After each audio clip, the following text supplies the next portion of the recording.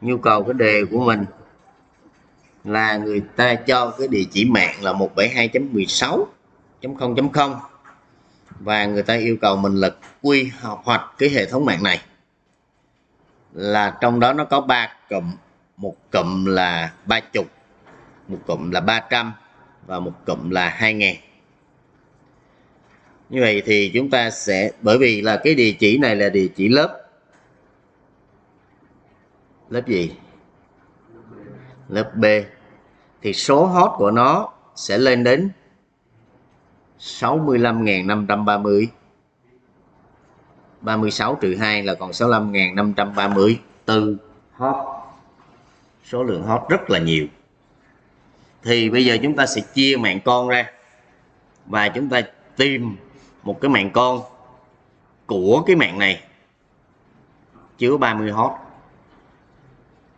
quay trở lại cái file Excel hôm trước của chúng ta làm. Vậy thì chúng ta đừng quan tâm đến cái phía trước này từ từ. Chúng ta sẽ quan tâm đến cái phía sau trước. Đó, địa chỉ của mình là 172 16.0.0 đây 172 16.0.0 địa chỉ subnet mắc mặc định 255 255 00 mặc định tất cả các bit ở phần net đều bằng 1 tất cả các bit ở phần hot đều bằng 0 thì đó là subnet mask kịp chỗ này không? Rồi. Và bài toán của chúng ta là cần 30 hot. Đây bài toán là cần 30 hot. Vậy chúng ta sẽ thử. Nếu như các bạn biết hôm trước chúng ta đã làm ở đây. À, 1 bit 2 bit 3 bit 4 bit 5 bit 6 bit 7 bit 8 bit còn không thì mình thử ở đây. Mình cho là, ví dụ như là 4 mình lấy 4 bit ở phần hot thì nó cho mình có 14 hot thôi. 5 là 2 mũ 5 trừ 2 thì nó ra được 30 hot là đúng y cái mình cần. Ok. Chứ nếu mà mình cần 31 hot là không được rồi, không có được dùng 5 được. Rồi mình dùng 5 thì thầy sẽ bởi vì cái phần hot cái phần hot mặc định của nó là đến 18 à 16 bit.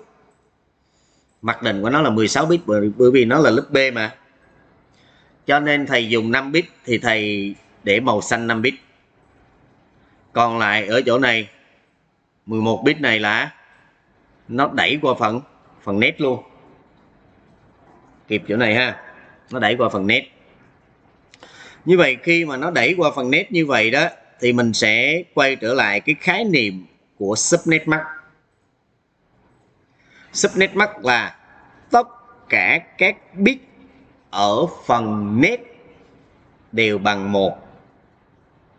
Như vậy đây, chúng ta sẽ tất cả các bit ở phần net đến đây. Ba bit này cũng thuộc về net luôn, đều bằng một tất cả các bit ở phần hot đều bằng không. Như vậy chúng ta ra được cái địa chỉ subnet mask mới. Nha. Yeah. rồi. Và ở chỗ này, chúng ta sẽ dùng mạng con thứ nhất là 00000 và tất cả các bit ở phần hot mới nè, là phần màu đen nè, đều bằng không. Thì đây là địa chỉ mạng tất cả các bit ở phần hot đều bằng 0 trừ bit cuối cùng.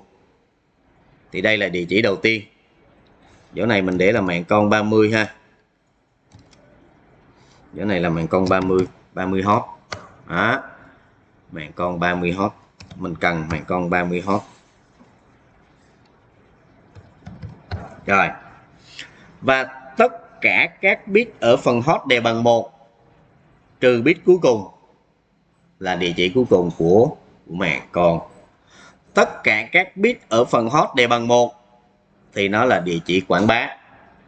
Rồi đến đây kịp ha. Bây giờ chúng ta sẽ copy cái này ra.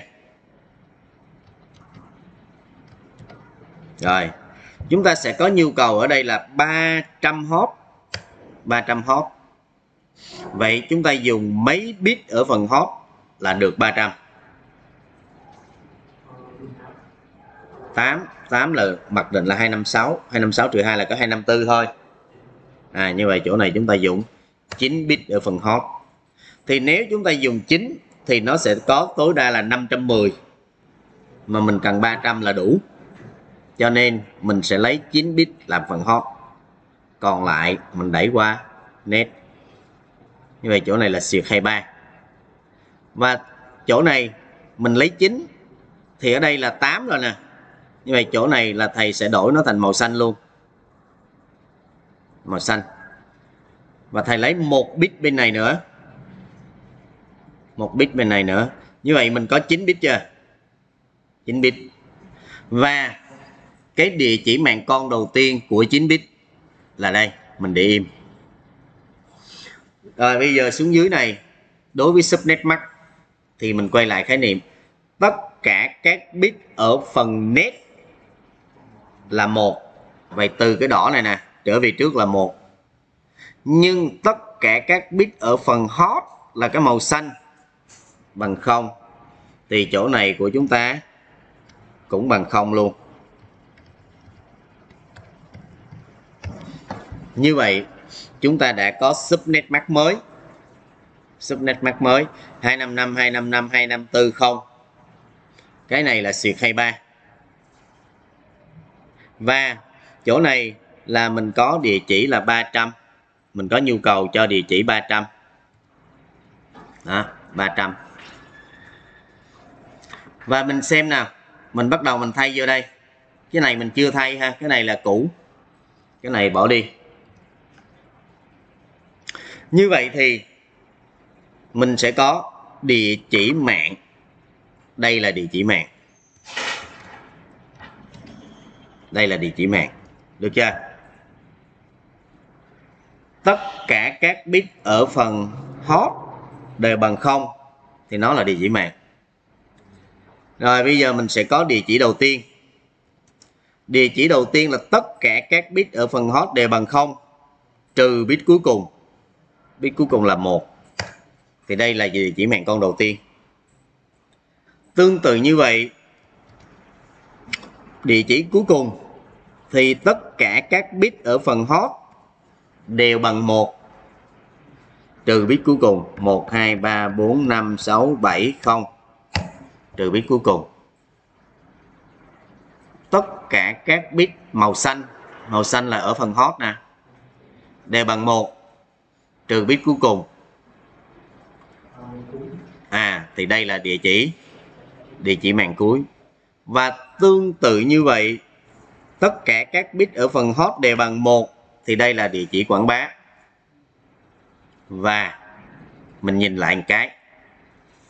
Nếu như bên này mình cũng lấy địa chỉ mạng con đầu tiên bên này mình cũng lấy địa chỉ mạng con đầu tiên Đúng không? Và nó đang trùng địa chỉ mạng ở đây. Đó, nó trùng cái đoạn nhỏ thì mình không nên lấy trùng mình không nên lấy trùng. Mà mình sẽ chuyển cái mạng con này nè, từ mạng con đầu tiên sang mạng con thứ hai. Như vậy chỗ này số 0 mình đổi thành số 1 và mình đã đổi ở trên, thì ở dưới mình cũng đổi luôn. Đổi luôn. Và chỗ này đây là số 1 thì tất nhiên đây mình cũng đổi nó là số 1 mình chỉ quan tâm đến địa chỉ net thôi còn địa chỉ hot thì nó vẫn y chang, cái phần màu xanh thì nó cũng y chang. Và kết quả cuối cùng, chúng ta đã xây dựng được một mạng con. Với cái kích thước là chứa được 300 hot, tức là nó chứa tối đa là 510 và mạng con chứa 30 và mạng con chứa 300 không trùng nhau. Được không?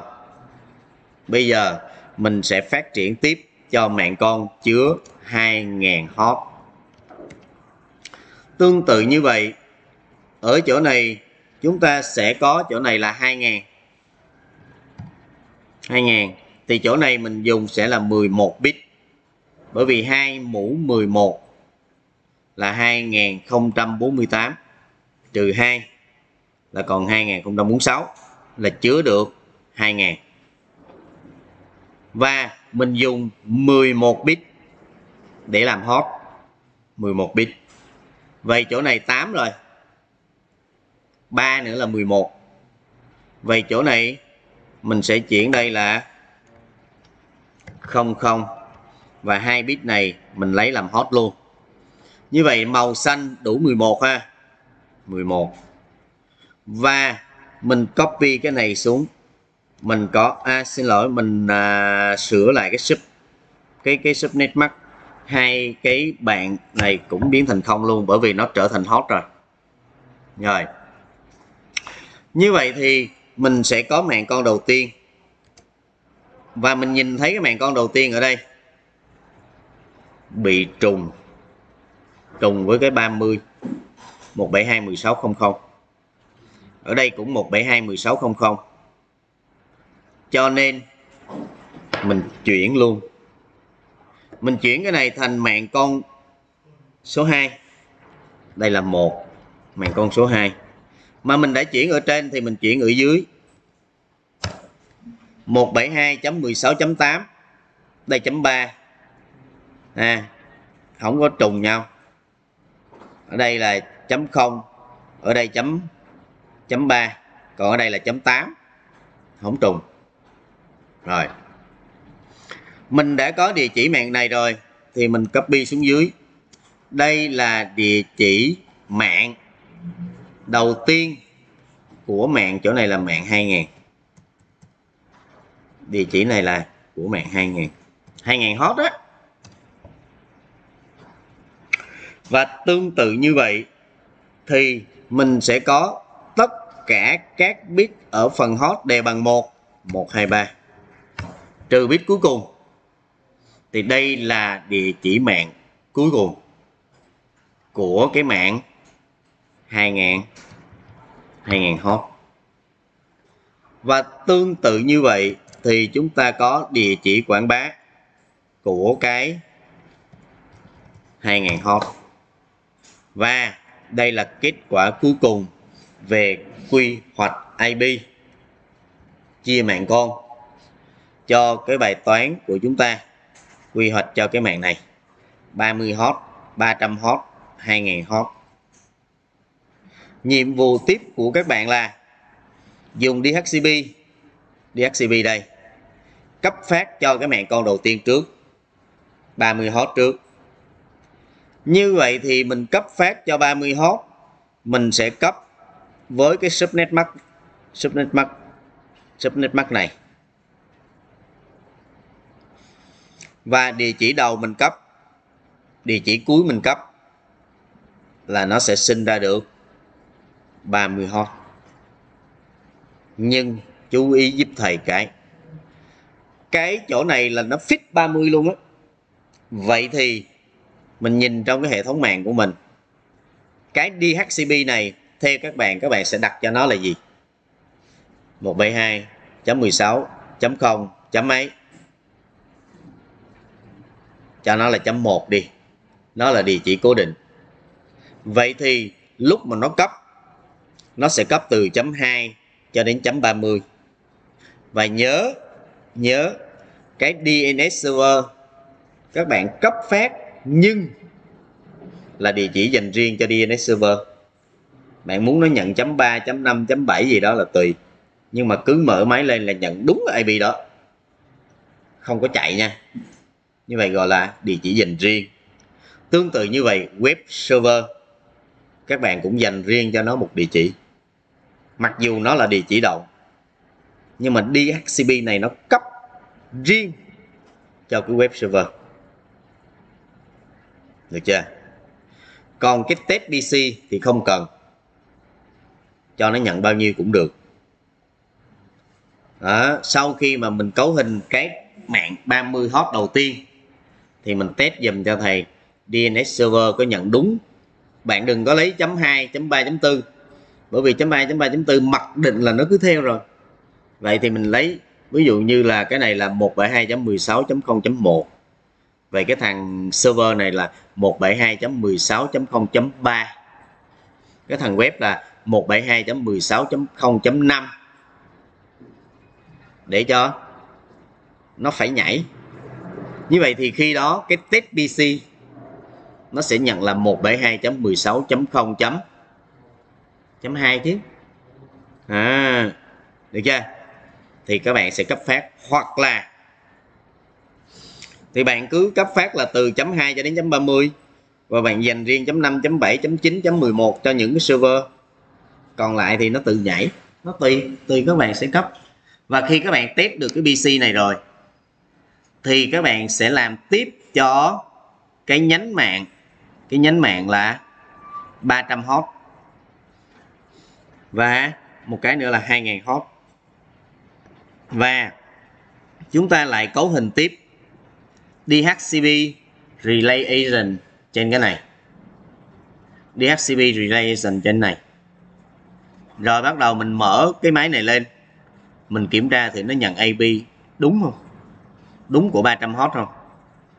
Tức là ý ý đồ của mình là 300 hot nó sẽ nhận là 172.16.2.1 như vậy ba cái máy dưới này nó phải nhận từ 172.16.2.1 nè. Và địa chỉ 2000 hot thì hồi nãy mình làm bắt đầu từ chấm. 8 thì cái địa chỉ này nó phải nhận được là 172.16.8.1 thì là đúng và đồng thời các bạn sẽ mở thêm cho thầy một cái access point để phát wifi. À, rồi thêm mấy cái laptop vô xem là có nhận được IP đó không. Là mình hoàn thiện cái phần cấu hình. Ha DNS HTTP nhận. Và ở chỗ web thì cái bài hôm trước mình đã biết cách xây dựng một cái trang web ở đây rồi.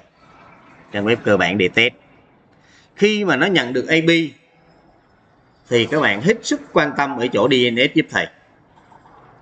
Tại vì cái DNS ở bên trong này, nó muốn nhìn được, thấy cái web thì nó phải nó phải có cái DNS phân giải đúng tên miền thì nó mới thấy được. Và phía bên ngoài này nè,